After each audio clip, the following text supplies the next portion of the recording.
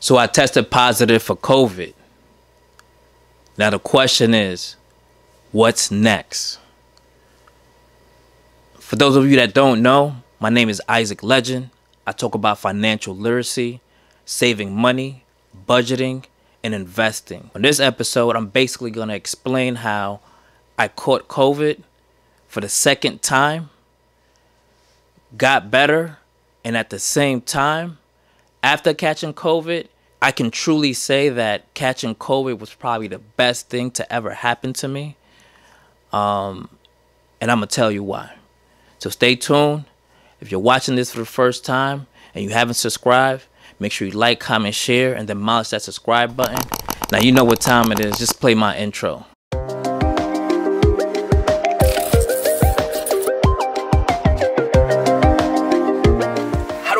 About foreign cars? They're beautiful. They look nice. But investing in real estate is the way to go. So, like I was saying, I caught COVID for the second time. The first time that I caught COVID, it was around March, maybe April of 2020. Um, I did good for a year and a half, and then boom, I caught COVID last month. And the number one question that a lot of people ask me is am I am I vaccinated? And the answer to that is no. I am not vaccinated. Now that I've caught COVID for the second time, do I plan on getting vaccinated? And my answer is still going to be no. I choose not to get vaccinated because I feel like feel like my immune system is strong. I have enough antibodies in my body to overcome this virus.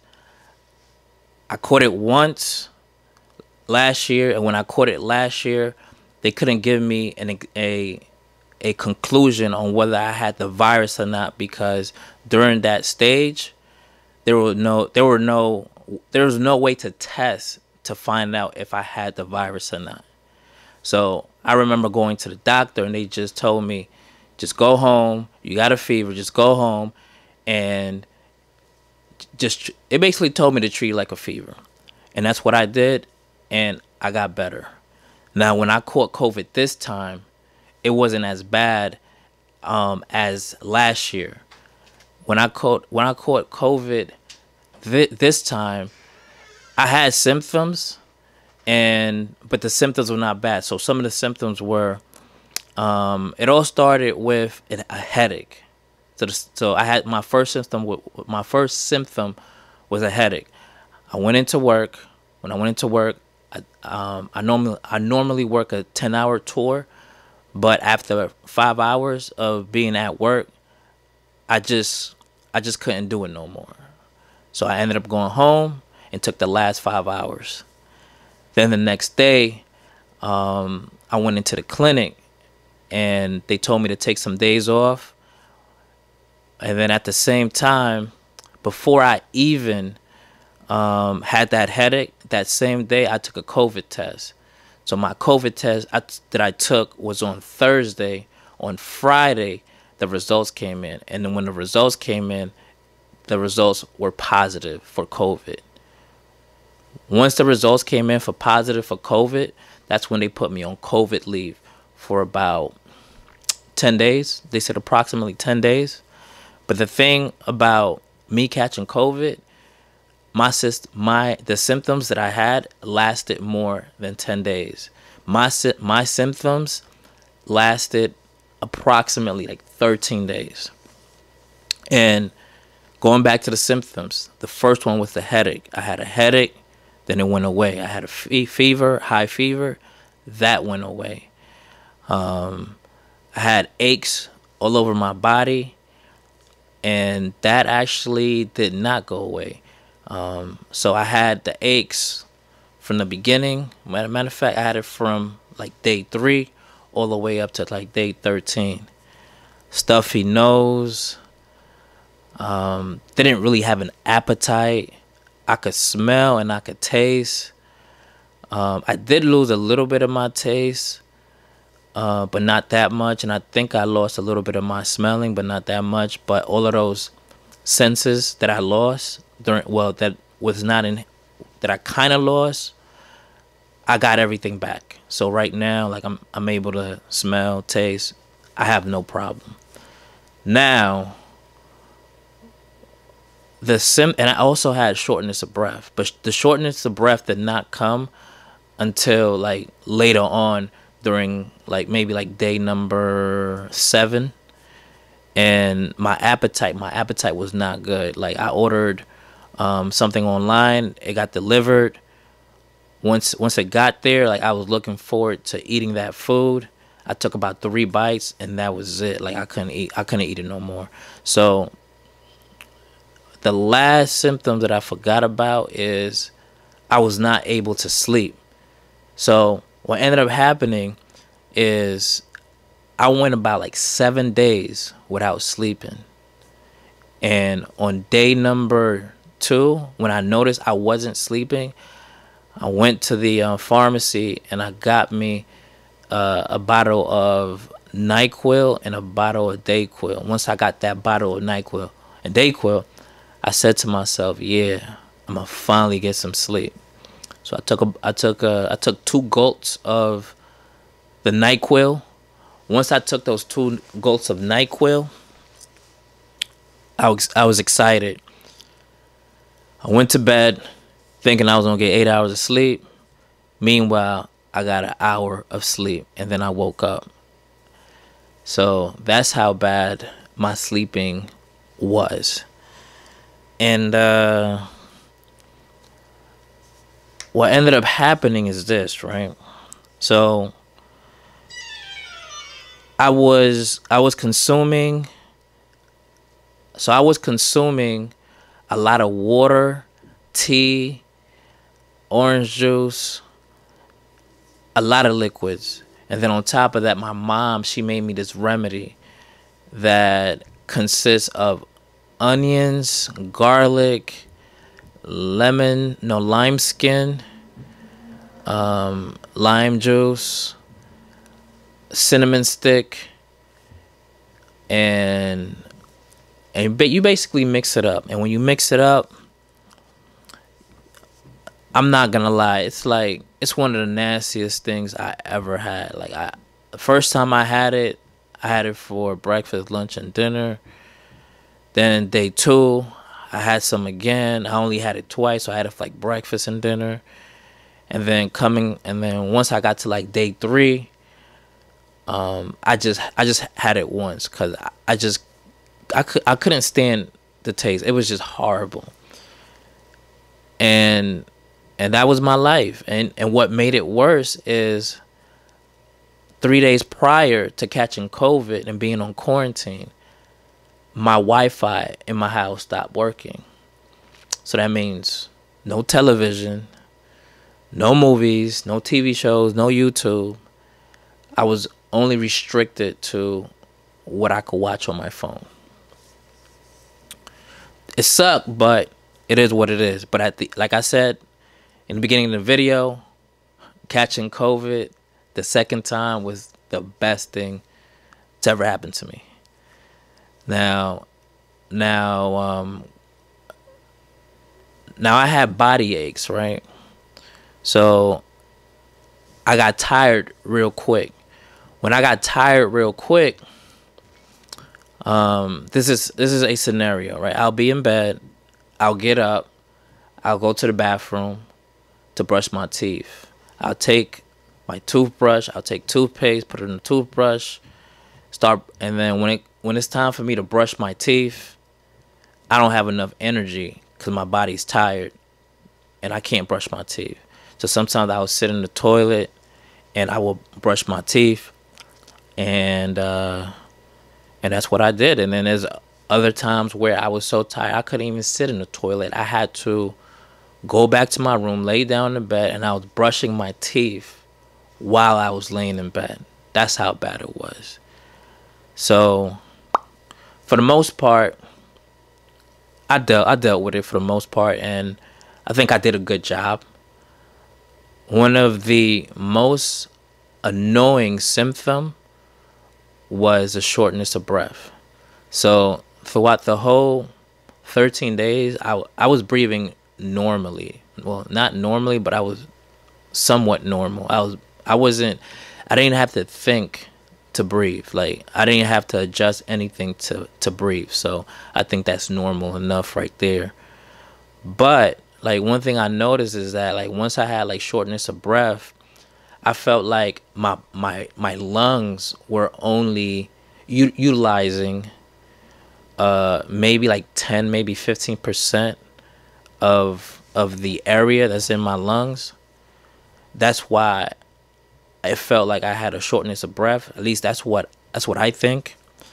And to add on to that, whenever I had the shortness of breath, like I I mastered like how I was getting the shortness of breath. I mastered what to do when I had a shortness of breath.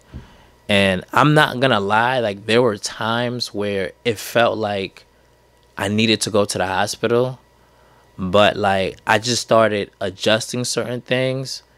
Um, I adjusted my positioning, and and it, and it got better. It got better, but like there were times where I was like this close, this close to going to the hospital, call, calling nine one one, and having an ambulance come pick me up. But like I said, like I I, I managed to find an, a hack that works for me not sure if it'll work for you, but that's what I did. So, with the shortness of breath, what tr- what triggered the shortness of breath is, let's say like I'll be laying in my bed like this, and then I'm breathing normally, and then I'll turn to the side while I'm trying to sleep or just laying down. That would trigger the shortness of breath. And then once the shortness of breath is triggered, I would have to breathe like this. Sounds annoying, right? Yes, it is. Another thing that triggers the shortness of breath is if I'm laying down in bed and like I do a rapid movement where I stand up, that's going to cause a shortness of breath to get reactivated. And that was i think the most annoying symptom that i had throughout the whole time because it felt like at any given moment i was going to lose my life. And you know when you when you feel like you're going to lose your life that's not a that's not a good feeling. And um i wouldn't wish that upon my worst enemy. So you know i've i've been you know sharing the negatives and you know what I've gone through, which is not pleasant. But one thing I can say about catching COVID this time is that it opened up my eyes. Like it opened up like it gave me an opportunity to do a life um re-evaluation. Did I say that right? I don't know. It gave me an opportunity to evaluate life. That's what I'm trying to say. Yeah. It gave me an opportunity to reevaluate life and just like figure, figuring out like what's important to me. And one thing that that came to mind is you know, I realized that I'm blessed. I'm in a position where I can help a lot of people. Like for instance, an example, my mom's birthday was a couple of weeks ago while I had COVID. And one of the things that we did is uh, I called my brothers and I, I told them, look, mom's birthday's coming up. She has about six more payments. If we get together, she owes 3000 If we get together um, and we put 700 and like $10, we can pay off her car note and she won't have a car note anymore. And I think that would be a, a pretty cool um, birthday gift. So I got my I got a brother named David, Paul, Joel. We all got together, um, put some money together, and, and we and we paid off my mom's car note. And and uh, one thing I learned is that you know when you when you do for others, like seeing somebody smile or putting a smile on somebody's face should be all the pleasure that you should you should want you know? You shouldn't want anything else. Shouldn't want a reward a gift or nothing. Like just just the fact that you help somebody and you, and you put a smile on somebody's face is more than enough. So when when we did that for for my mom like my mom like she started crying. And when she started crying like i, I asked her like what happened? Like what's wrong? Is everything okay? Like and she says, Yes, my son, everything is fine. Thank you. And then I said, Mom, like you, you took care of me. You raised me. You you brought me up. Like you deserve way more than that. So let's get back to the um to me catching COVID. And uh, I'm gonna say that it is like it is the best thing to ever happen to me. While I caught COVID, during the ending stages, I also got the opportunity to purchase um, my second home. This right here, where I'm recording, is my first home, and I got the opportunity to purchase my second home, which is the block and a half where I could literally just walk over there, or I could ride this bad boy right here. I mean, the bike. I could ride the bike over there, and I purchased this home, and when I purchased this home, I didn't purchase this home by myself. I purchased this home with my brothers. Um, like I said, my three other brothers, Joe, um, David, Paul, and Joel. And the main reason why I decided to, to do this is because, like, I believe in. I be like, like, I could probably put myself in a position to have twenty homes, but twenty homes, me having twenty homes is cool but me having 20 homes with my with my brothers, that means way more to me than having 20 homes on my own. Meanwhile, me having 20 homes on my own basically means that I got a bigger overhead, but when I'm renting those properties, I make more profit. I could be making more profit, but it's not about the money. It's about the relationship. It's about bringing people together. It's about just making a change. Um, so my property that I have is not just mine, but it belongs to me and my three other brothers. And I spoke to them and you know, we're talking and, and I'm telling them, look, every six months, we, we could do this every six months. So just think about it. If you purchase a property every six months in ten in ten years, you're owning about twenty properties. And that means way more to me than to just have a property on my own. Like I believe in building wealth, but when you can build wealth together, it means way more than just me building wealth. So stay tuned to that. I'm gonna have a YouTube video coming up. And the property, like I said, is ready to go. I, I gotta fix something with the kitchen sink because it has a slow a slow drainage drainage yeah that's how, that's how you say it drainage so it has a slow drainage. I have to fix that. And i gotta paint. I gotta do a fresh new paint job. Um so yeah i'm gonna get my cousin damo to help me with the french with the fresh paint job. And uh, that's basically it. Um but um you know having covid has been amazing. I've I've done a lot during COVID, um, but I think the number one thing that that I'm very appreciative when it comes to catching COVID is the fact that ca- catching COVID, being in that room for 15, 20 hours and no Wi Fi, just my phone, it gave me the opportunity to do some self evaluation, like I said earlier, and when I did that, I really figured out like who I was, um, who I was before, who I am now, and I know where I want to go or who I want or who is it that I want to be.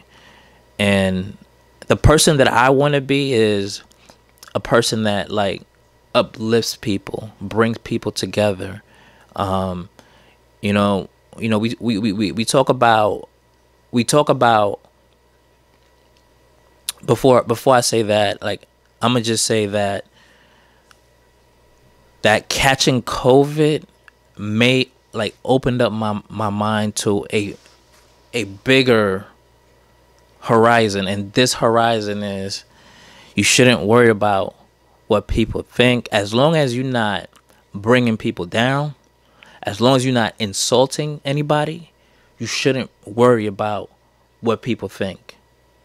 You should you should only be focused on your purpose your why and and and then just helping people. That's it. Like just helping people. Like after catching covid like i made i made so many relationships. Like i, I made so many connections so many relationships. It's not even funny. Like like like like when you're genuine like my like for example my brother like he he um he makes motivational videos his name is marty marr. He just dropped the video literally like today. So by the time this video is uploaded which probably is going to be tomorrow you know it's going to be one day old. But this video basically speaks about what i've been talking about for the past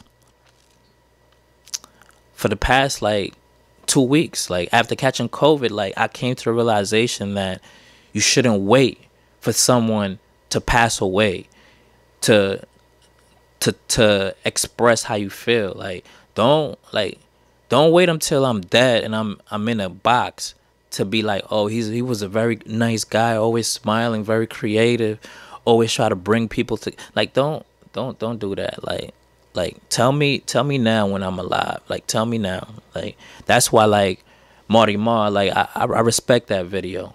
I, I really do. And uh just to move on from that, I'm gonna say that I'm gonna reiterate and say COVID was the best thing to ever happen to me. Like I'm I'm glad I caught COVID. It gave me uh, an opportunity to do some self re-evaluation and when I did that, I found one like like I found out what my favorite word is. My favorite it's a lot of words that are powerful. There there's a lot of words that are important, but I find out what my favorite word is. And that is purpose. Like purpose. Like finding out what's your purpose. Cuz my mantra is like once you find out what your purpose is, everything else starts to make sense. You start you start moving different. You start socializing with certain people. You start building certain relationships. You spend your money a little bit wisely. Um, purpose, man. Like once you know your purpose, everything else will make sense. And and yeah, there's a there's a lot of more powerful words out there. Like, let me see if I can think of a, a few. Um, loyalty, um, honor, being humble, being selfless. These these are, are beautiful words. But I feel like once you know your purpose, like anything anything is possible.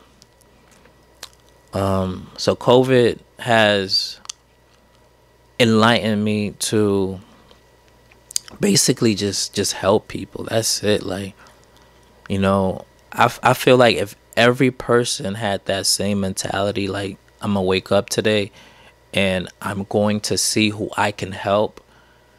Like, like the crime rate would be like so low. Like, it would be no crime basically. Like.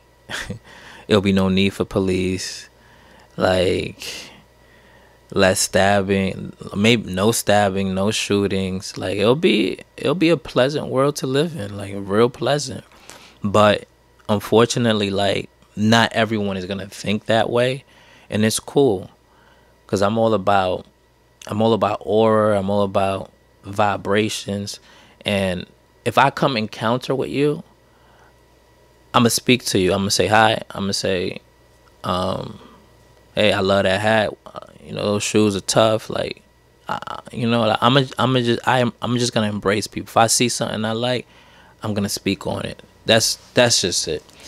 But like I said, after day 13, I got better. Went to the clinic. I tested negative for COVID, and and that was it, man. Like that was it. Now, like I'm living a life of purpose, helping people, um, seeing if I could put a smile on their face, and that's it. Uh, that's it. Just purpose. So if you know you watch this video, hopefully you got something from it. Um, let me see. Um, let me see. I got a list of questions. Let me go over it to see if I forgot anything. So somebody said, "How did I entertain myself while I had COVID?" Um, like I said, I had my phone, so it gave me the opportunity to go online, YouTube, browse the internet. See, another question is, what are ways to boost your immune system during that time? Um, I really don't know the answer to that because I just don't know. But like I said, I did a lot of orange juice, drank a lot of ginger tea, uh, water, and I and I wasn't I wasn't eating. So towards the end of me having COVID, I I don't know how much pounds I lost, but I I probably lost about eight, maybe ten pounds. Another question, another question that somebody sent me was, "Who gave me COVID?"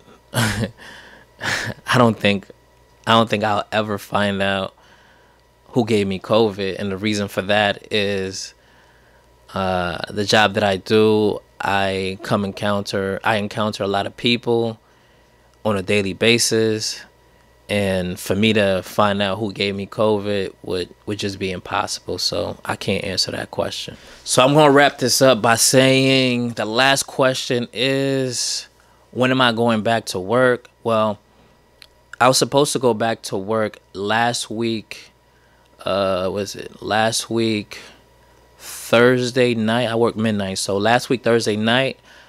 Last week Thursday night, I was supposed to go back to work and what ended up happening is, yeah, I was ready physically, but mentally, I was not there yet. Um, before catching COVID, a month prior, well, a month and a half prior, I broke up with my, me and my ex decided that we're not going to be together anymore. And I just got out of that relationship. So getting out of that relationship and then catching COVID, um, it wasn't a good combination. So, like I said, even though my body was ready to go back to work, mentally I wasn't ready. So, I needed time to heal from that relationship. I needed time to clear to clear some things about that relationship and and uh let's let's just say that the day that I will be returning back to work will be this week Wednesday. I'll be back at work.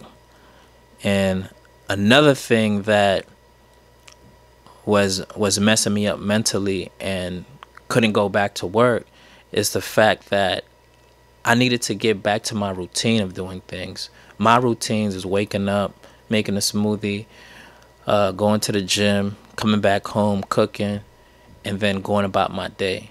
I need to get to that routine before, and then I also needed to get to the routine of being able to go to work at nine and then staying up until seven because my sleeping schedule was all messed up. But I've been working on it, and by Wednesday, I should be more than ready to go back to work. And that's basically it, man. Like, I appreciate you watching this video. Hopefully, something that I said helped you. Um, you could always drop a comment below. I'm always curious to know what you think. Uh, did you did you catch COVID? Um, were you close to catching COVID? Was there a time that you thought you had COVID and it wasn't COVID? Like, please drop a comment below, like, comment, share, and subscribe so you don't miss any future episode. Once again, I'm Isaac Legend, and I talk about finance. Thank you.